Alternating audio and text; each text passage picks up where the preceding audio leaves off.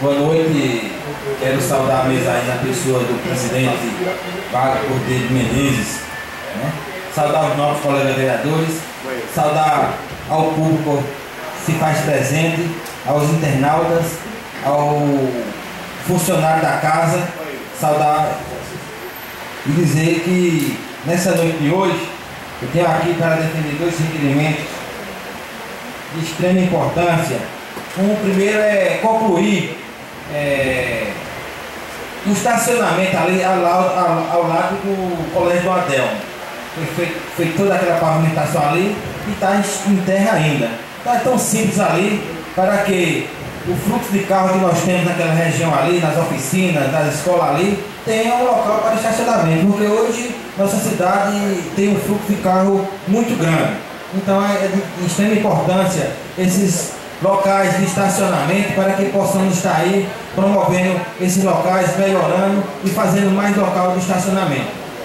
O outro requerimento é reivindicando emendas parlamentares ao deputado John Wilkes, né, é o deputado estadual, para que possa para que nós possamos calçar as vicinais de difícil acesso dentro do nosso território. Né? Nós temos aí um projeto já feito nós temos aproximadamente 5 km de, de ladeiras que na tempo de invernos dificulta muito o, o, o trânsito, né? E eu dava preferência para que nós pudéssemos começar, uma vez que pudesse tivesse essa emenda parlamentar, começar aqui, nessa, nesse destino que vai à aldeia Canambrava. A aldeia Canambrava hoje é uma das aldeias maiores, onde nós temos aproximadamente 500 famílias a uma área onde tem uma produção imensa. Nós temos colégio de ensino médio. Então, ali, tempo de inverno, fica intransitável. É uma dificuldade imensa para aquela comunidade. Então, ver, para que o deputado analise isso aí, que possa vir, essa, essa emenda parlamentar para que nós possamos fazer, melhorar mais aquela situação. Dentro de hoje, os assuntos que foram abordados, né, que é a questão da Compesa, a Compesa está com um déficit imenso aqui na nossa cidade. O nobre colega aqui foi feliz em colocar a situação para que nós possamos ter aqui uma regional, uma regional mesmo aqui no nosso município, porque o nosso município aqui iria atender dois municípios, Poção e Alagoinhas. E sem falar que Pesqueira é a quinta maior cidade do nosso estado de Pernambuco. Sempre eu fico falando que nossa cidade é imensa, em tudo por tudo. Para um gestor administrar nossa cidade é uma dificuldade imensa, porque eu conto seis mini cidades. Tem a cidade sede e mais cinco cidades mini cidade. Então é uma cidade que é muito difícil de administrar, que deveria ter uma atenção do governo do estado que não tem, né? não tem mesmo Hoje a gente vê o, o descalço com a, os órgãos do governo, é a Compesa, né? A Compesa está com déficit grande.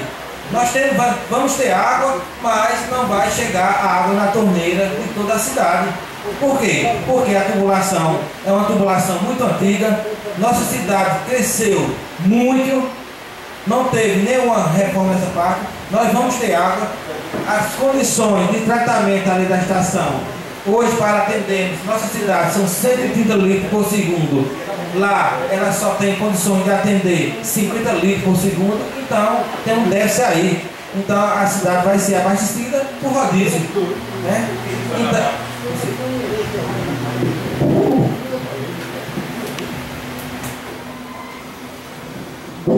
Quero agradecer pela parte. É, quero dizer o seguinte que quero que os vereadores me ajudem e que a gente vote de autoria minha, mas que eu creio que alguns pela associação, um voto de repúdio ao senhor Gilvando. Um voto de repúdio ao senhor Gilvando, gerente geral que está aqui em Belo Jardim, pelo desrespeito e as mentiras dele ditas a população de Pesqueira e dos distritos que nós representamos. Porque, senhor, vai para a rádio, vai para blogs, só promete e diz mentira. Ele sabe o líquido precioso que está sendo é, é, evaporado, está tá sendo é, desperdiçado em nossa cidade.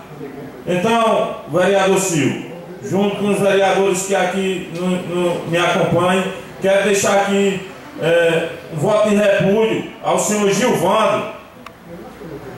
A Associação dos Vereadores é, é um prazer, porque é um desrespeito. E quero pedir aqui ao senhor do, do blog Chico Vida News que publique e diga a ele que o vereador Baldo Mimoso está dizendo que ele é um mentiroso que desrespeita a população a quem a gente representa e a quem ele representa também, que ele está ganhando é para trabalhar para isso, que quem está pagando a ele é o povo, quando paga seus impostos. Então, senhor Gilvando, tenha mais respeito no seu trabalho e se dedique no que você faz e respeite a população e dê o que eles merecem, que é água.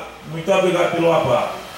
Então, é, eu vejo que é um dos muito grandes que o governo do estado tem com a nossa cidade. Né? Então, é, para você ter ideia, é, nossa cidade, a região aqui, tem a pessoa, na, na pessoa do seu Romildo, que tem feito o desdobrar o máximo possível para atender tanto nosso município como a Lagoinha, como o Poção, né? os caminhões pipa aí, fazendo a dificuldade, com seis meses atrasado, teve a notícia que amanhã vão pagar a metade do mês de maio, então, é, esse governo, infelizmente, ele tem, não tem dado a atenção necessária ao nosso município. Pela noite de hoje é só, meu presidente. Obrigado.